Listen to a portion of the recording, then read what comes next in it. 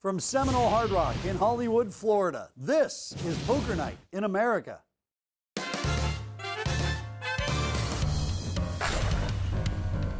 Hello and welcome to Poker Night in America. I'm Chris Hansen, and this is my co host and partner in crime, Joe Stapleton. Not partner in crime, Chris. Partner in binge watching crime documentaries on Netflix. and if you don't think Steven Avery murdered the nut flush out of that lady, you're crazy. Are they paying us for this very natural plug? Not yet. Tonight, we pick things up once again from Seminole Hard Rock, where we're still playing 100 200 with a very erratic optional straddle. Last time we saw Avi Friedman punt a stack on over to Shaun Deeb, who then ran into Frank Kassela. He's up almost 62,000, second in profit, but first in total chips is Doug Polk, who is announcing his candidacy for mayor of Following Me to the Parking Lot Later Town. Uh, I don't know about you, but I am ready to see some chips exchanged on the old felt market. Dissolve this screen and throw us to the jib. spot in, they could go in and every All right, you want to bet dinner on whether or not Doug Polk ends up over half a million or under half a million at the end of the night? As long as I get to pick the under. It. Because the action you, get, you lose is not worth Been a pretty fun time here at Seminole Hard Rock. A lot of entertaining play with these big stakes. I don't know. It was scary. I was I was scared for Dave. I was like, oh, he's. Shaun like, Deeb is raised with Jack ten of hearts. How much is that? Only because it's you, I'm calling. Shine calls with ace ten. Polk calls with That's queen seven. confused For me. If Shine's interested, you're in trouble. He's tighter than my post Thanksgiving pants. How is it happening? Because it's dealer shuffled, right? I think it happens just when we're sweating. Like you need to, like it has to. Flop Yeah, is it's- 10, 4, Yeah, 6. it's got the Top pair on it. for Shine and Shaun. Shine, Yeah. Shaun, Shaun, Shine. Is that where the chip is? Yeah. That's the RFID chip. This one's weird. You can only see it when the light hits it like the right They're way. all like that. Speaking of things, when the light I hits it, check all out the Shine that. on Shine. Seems like if you look at them hard enough and you rotate, that's why I picked stop, his stop. up earlier. Erase. nice raise by Shine. You guys call it. Shaun got bluffed by Shine last time. This time, I find it unlikely he's going to fold anything reasonable. Yeah, it's got the All light right, up can, can we just, Yeah, can right there. with marked cards? That's fine. So there's a few cards we know. We just declare it, and then you know if it's marked, it's maybe his head. Shine's reaching for chips and he bets 5,000. Yeah. Yeah, I guess. Deeb calls, then just when simply not it- believing what Shine is telling him. Do it after the hand, I guess. And the river's an eight of hearts, so Shine has got the best hand. He just needs to get Deeb to fold to take down the pot. Or Deeb can just call and he can take down an even bigger pot. Wow. Good job. Alan oh, Shine you went got for three it. streets of value with one pair, got paid on all of them, and it was good. Damn, the value. Could have got a lot more. Well, it helps. technique. No, it helps. I mean, it, it can exhaust you. You're just like pushing so much weight off of you. Oh, I'm sure we could put somebody heavy enough on you, Oh, flat on the ground, to keep you from getting up. that bet I'll take. Yes. I don't care what your technique is. We'll find somebody's ass big enough to hold you down. Oh, it's so so good. Sometimes it just comes down to tonnage. The uh, first day I started the Taekwondo training uh, with Master Chang, who probably weighed, I don't know, 150 pounds when I weighed 310. Um, he was on all fours, and I just reached over and sort of flipped him, you know, up, and he looks up to me. He goes, I'm not even sure it would take a big guy. Shaun Deeb has the upper body strength of a kitten. He does have the upper straddle strength, though, of a very I knew that was a strong tell that something bad was going ox. To happen. And in about three seconds, I was on the ground and like tapping. Uh-oh. I, he just like had me on the ground. I could not get him off, and you know, yeah. But if he laid flat on the ground and then you just laid on top of him, No. Deeb considering what to do with his aces, trying to get as much money out of Polky as he can. No, no, no, not a chance. I would have been flipped up, and he would. if he was laying on his stomach, Absolutely. prone, arms Absolutely. stretched out in front of him, and you were just laying flat across At only two. X, yeah. You know At who would make 2X. mincemeat of these aces? You put an 800 Master Chang. He retired, but I don't know who he is. He's kind of like Keyser Soze, but I'm scared of him. I did wrestling, yeah, for two years. I was in. His wrestling name was the Blue Meanie. so you think so you think someone double the weight just lying on top of a wrestler, that wrestler would be pinned. Flop is queen, three, Someone five. A couple of diamonds there for Polk. Ace is still out in front, but that's a pretty Well, that's good thing, if you flop for Doug you know, Polk. you know, 39% chance of cracking aces. But if you don't start in a hold and you don't know how to get into a get out of being gotten into a hold, Yeah. I think you have no shot. Yeah, but if you've got somebody down and you've got their arms Get under Mr. Chang in here right now. I have almost no money to my name. But what I do have, I will take him against Frank in any hold Frank can come up with. All Can't in? do a twist. You can't. Uh, Doug Polk has put Shaun Deeb all in.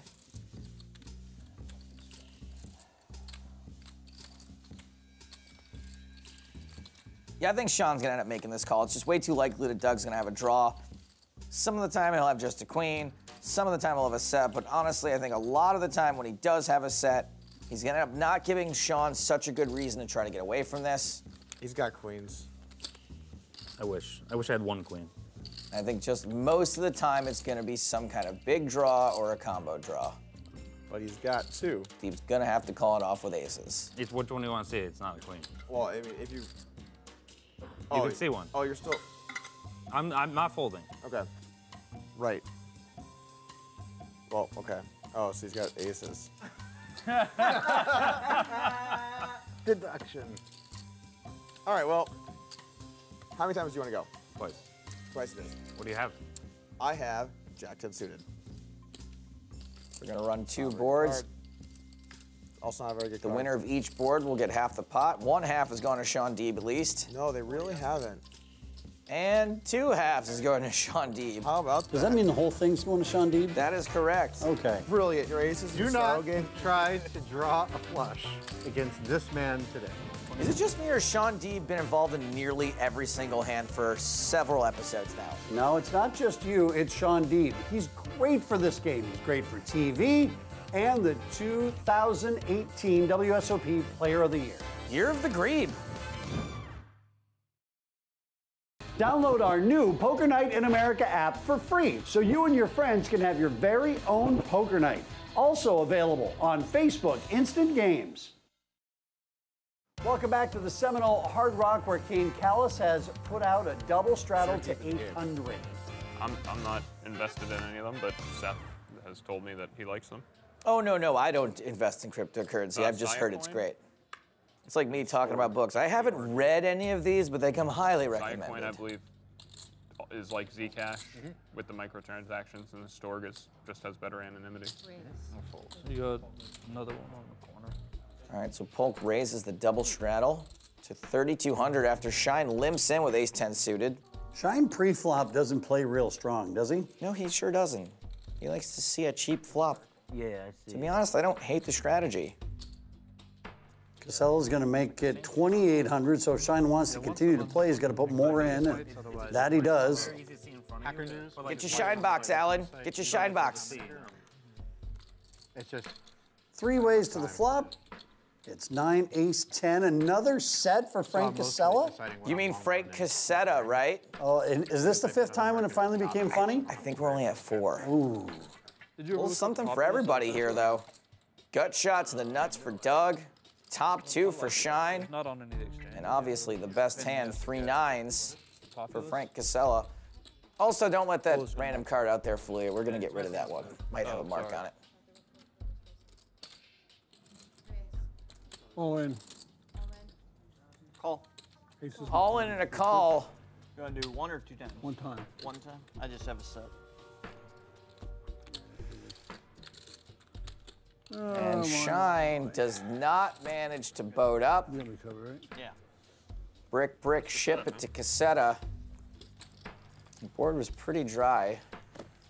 Frank's going to have a set there quite often. And it looks like Shine's grabbing for more chips, so he doesn't want to leave. Playing at the He's tight, but he's not. Two PLO with a 10k cap. Looks like we got a double straddle against Shine. He's in the mix, going to try to win back what he lost on that last hand. Wait, wait, wait. Are we, do we have the eight on? 800. The eight's still on. This is the last hand This is the last hand of eight? Okay.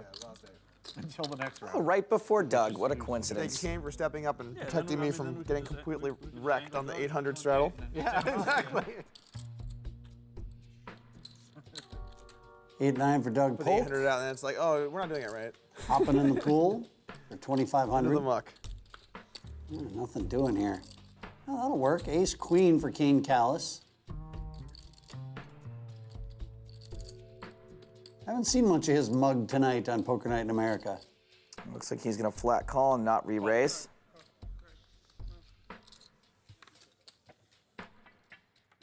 It's a lower variance play. I like it. And that is a super flop for Doug.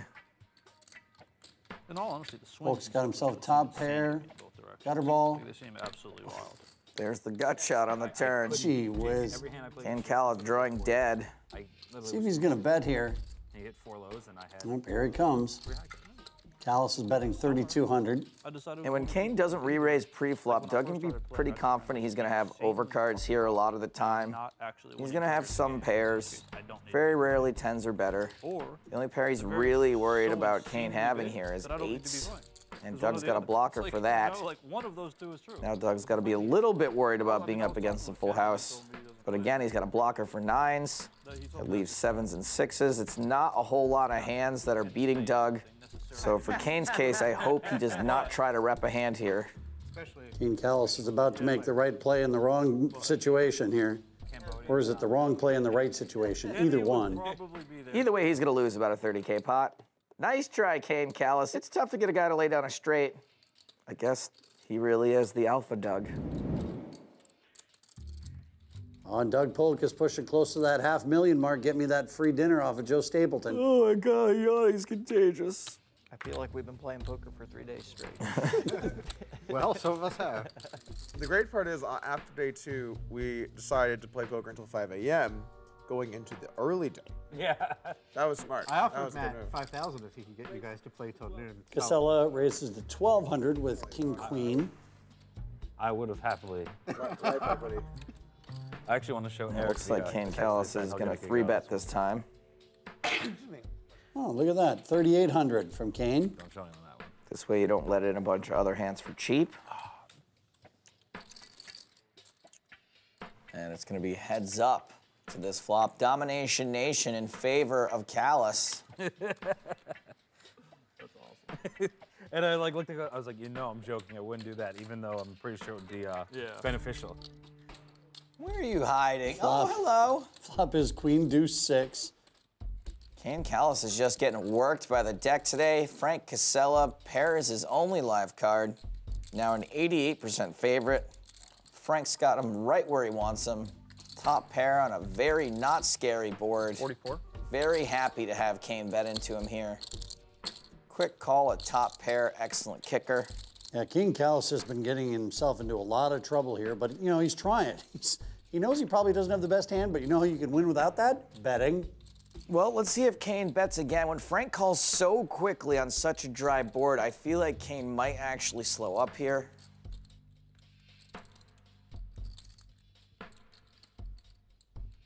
That he does. We go check, check on the turn. Now the river.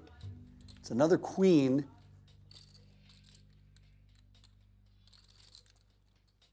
And given that Kane checked the turn, Frank's almost certainly going to bet here for value. I'm not going to mess around and watch Kane check behind him and lose a couple thousand. Correct. 13-5, the number from Kassela.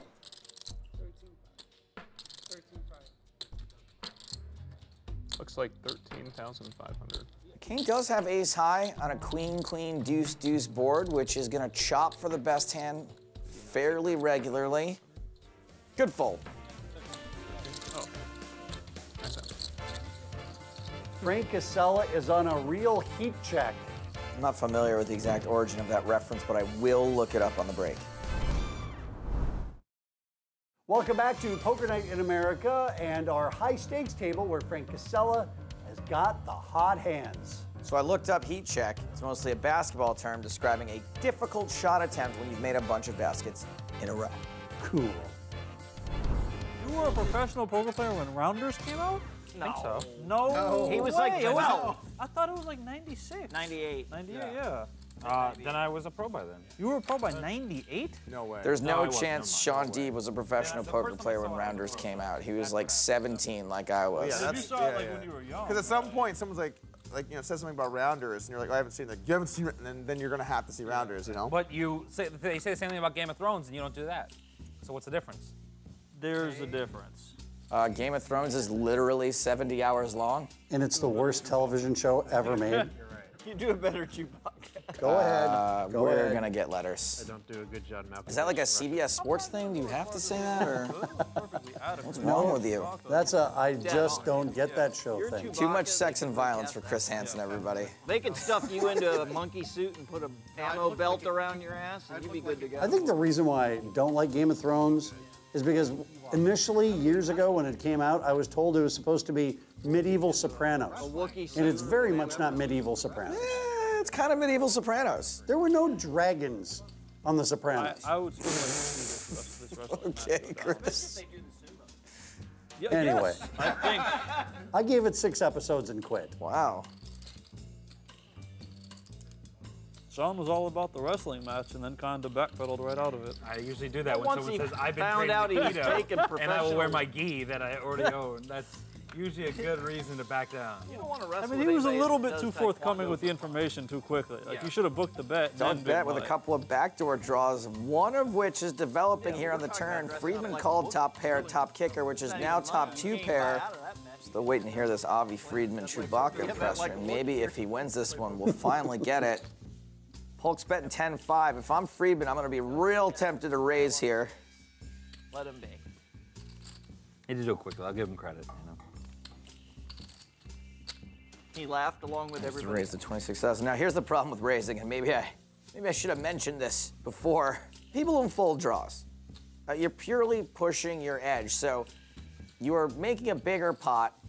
76% of the time you're going to win that bigger pot, although 24% of the time you are going to lose a significant pot as well. Oh, and by the way, uh, Polk's got uh, just shy of half a million sitting in front of him, so 15,000 more isn't going to scare him off.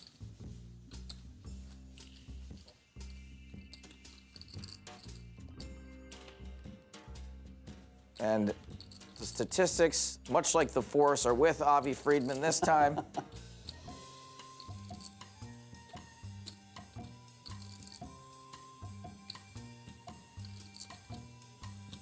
Owen. Dogs missed everything. Brick City, ship it to Kashyyyk. That's uh, Chewbacca's home planet. What happened? Was there a showdown? Hey, come on. You know what you got to do. Do it, do it, do it, do it, do it, do it. Did you bet on Okay, the impression is good, but Chewbacca would never say that. That's, that's Honor strong. to go. That's strong. He's going to play so tight in the last three hands. All right, we are quickly running out of time here at Seminole Hard Rock. Avi's already left. I mean, he's done. So we're down to uh, five players. Back to the spice mines of Kessel for him. Hey, look, Berger is gonna play a pot. Look at this guy. And it's been so long since he played one, I don't remember his first name. Berger. I've been waiting to make this observation when he actually got into a hand. He looks a little bit like a poor man's Colin Kaepernick. Mm, he looks like the guy from Prison Break. Ooh, yeah, what is that guy's name? I, I just thought he was called the guy from Prison Break. Family pot here. It's a lot like my family, except my dad isn't making me cry on a baseball field. Why did you make an error on the bottom of the third, Joe? we practiced that in the backyard, Joe. I'm sorry, Dad. Flop is five, king, jack. I think that helps somebody. I, there's so many cards out here. Pair for Shine, pair for Deeb, up and down for Berger, pair for Kalas. Up and down now for Kassela. The best hand still belongs to Shaun Deeb with second pair. And Shine betting.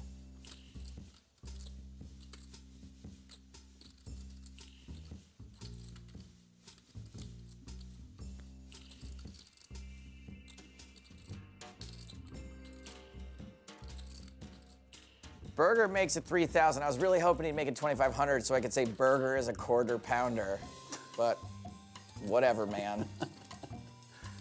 Shaun Deeb with the best hand.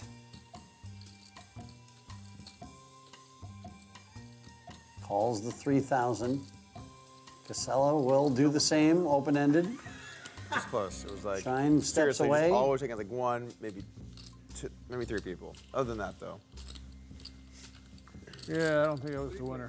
What is it? Sarcasm is the lowest form of wit. Another jack on the river.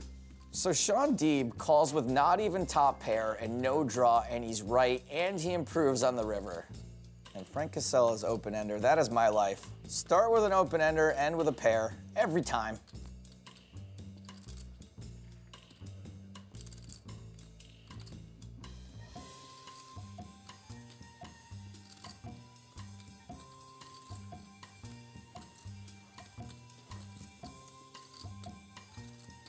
Deeb's gonna bet, and this is gonna go fold, fold. Can we speed this up? Let's go, guys. I got somewhere I gotta be. I'm just kidding. I just don't want to be here. Frank knows it well. There's the bet. There's the fold, That was fold. exactly what I was All right, everybody, go to bed. Even though I know Yeah. you won't. Yeah? You all know you're Really? gonna stay up all night playing a different Totally poker go to game. It is time for one more brief commercial break. We'll be back before you can say if you or a loved one has been diagnosed with mesothelioma, you may be entitled to financial compensation. Download our new Poker Night in America app for free so you and your friends can have your very own poker night. Also available on Facebook Instant Games. Welcome back to Poker Night in America, where we are wrapping things up for this lineup and for the table. Five of our seven players finished in the hole, led by Avi Friedman, down 45,000, followed by Alan Shine, down 35. Eric Berger, Kane Kalas, and Doug Polk all lost similar amounts to each other, around 25 dimes. In the end, we saw only two players escape the gauntlet with a profit. Shaun Deeb walks away with nearly 42,000 for keeps, and cool dad Frank Kassela up 119,000. Well done, Frank. For Joe Stapleton, I'm Chris Hansen, and for everyone here at Poker Night in America, thanks for watching. Hey, hey, you know, you watching this video, I know this sounds crazy, but I'm trapped in here, inside the computer. So do me a favor, watch another one of our videos, but then after that, get me out of here. Also, then hit like and subscribe, please. And then get me out again. Ha ha ha!